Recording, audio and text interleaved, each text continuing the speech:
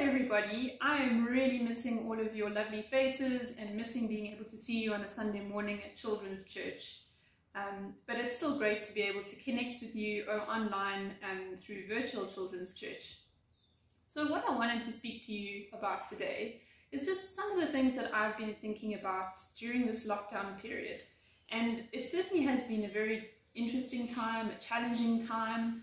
I haven't been able to spend time with my friends and family as I've wanted to.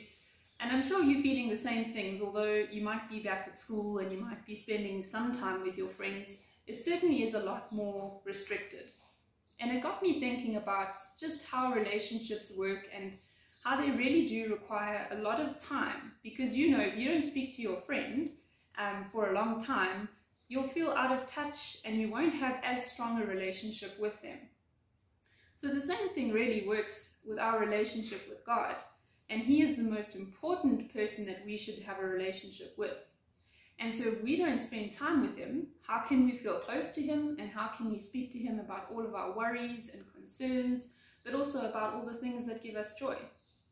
So there are many ways that you can spend time with God, and I'm going to touch on a few of those. The first one be, would be spending time with God um, through worship and praise. And this is something that's really easy to do. You can ask your parents if they have time and they, they take you to school in the mornings or pick you up. Ask them to play some praise and worship songs in the car. That gives you some time to be able to spend time praising the Lord. Because at the moment it's, it's, it's not as easy um, not being able to go to church and sing, and, uh, sing a song together. The other way that you can spend time with God is reading your Bible. And that's a very important part um, of you being able to grow in your relationship with God and understand what God wants for your life. And then the last part that I thought of about spending time with God is, and it's probably the thing that's probably the easiest to do, is spending time in prayer. Prayer is so important because that is when we are able to speak to God and have a conversation. Um, and there's two verses that I wanted to share with you. The first verse is from Matthew 6, verse 6. And it says, But when you pray, go into your room, close the door, and pray to your Father, who is unseen. Then your Father, who sees what is done in secret, will reward you. So this verse really sticks out for me because it's so practical. It's giving you an idea of where to pray so that you don't get distracted. How many of you are distracted by cell phone or TV or computer games? There's so many things that happen um, despite your normal day at, at school. So this is such an important way of being able to pray and that is just to set aside some quiet time in your own room and just quietly being able to speak to God. The other verse that I wanted to share with you is Mark 1 verse 35. And this says, Very early in the morning, while it was still dark, Jesus got up, left the house, and went off to a solitary place where he prayed.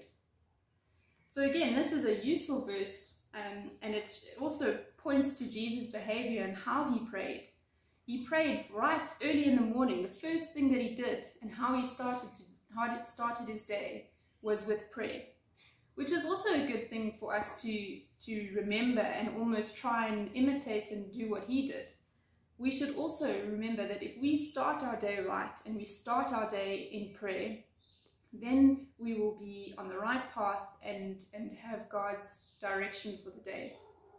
So prayer is really very important. But there's many ways, as I said, to spend time with God.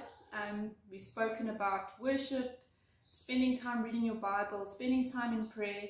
But there's really, you're spending, you can spend time with God all the time because He's always with you. So whether you are going for a swim, going for a walk in the park, He's always with you and you can always speak to Him, which is really awesome to know. So that's all from me today. I would love to be able to spend more time with you and play some exciting games, um, but I can't do that with you virtually, but hopefully we will be able to see each other soon. But for now, I want to say that I'm thinking of you, praying for you, and I pray that you have a very blessed week ahead. Bye-bye.